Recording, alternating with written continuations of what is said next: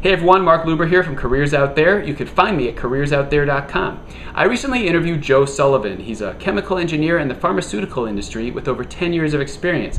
I asked Joe to explain to us some of the different careers for chemical engineers, and here's a look at how that went. So you were, you were telling me that there's a lot of different things that you could do career-wise, a lot of different paths you can take career-wise as a chemical engineer. Can you tell us what some of those are? Yeah, yeah. Um, most chemical engineers are going to start your career off um, one of two ways in the laboratory or the design um, uh, realm where th- that might be like working in the lab every day essentially to test new equipment or to test whether the equipment could be used for a certain process um, or to actually sit down at your computer and like design the factory.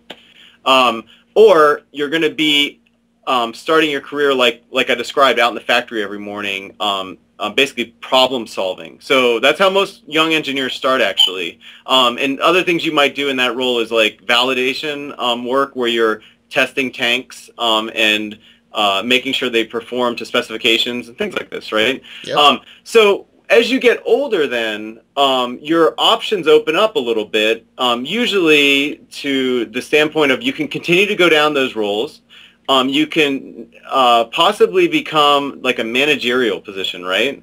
Um, where uh, you're managing like a number of engineers or managing like an entire process. So you might be managing like an entire factory.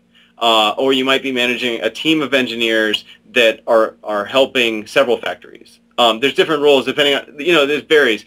Then after that, after you have gone a little farther in your career, you may become um, a consultant. You may decide that you have developed so many skills over your career that you now can go out and help other people with processes like like yours and, and other companies, right?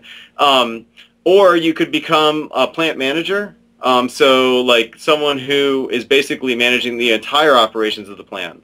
Um, and the reason why engineers are well suited to those positions is that um, we, as I mentioned before, we are often in the center of working with all those different types of people, and you get a really good exposure to um, all the aspects of running a plant, right? Like, um, you know, like all the, the, the, the minutia that goes on. And so you're often well suited then to become a plant manager because you just have that base. Right? right, right. That makes perfect sense. Yeah. I hope this video was helpful for you guys. If you liked it, please click the thumbs up. And if you want to learn more about the career path, you can find the full interview at careersoutthere.com, where we interview professionals from all kinds of career paths about what they do so we can help you find a career that fits you and you can love what you do.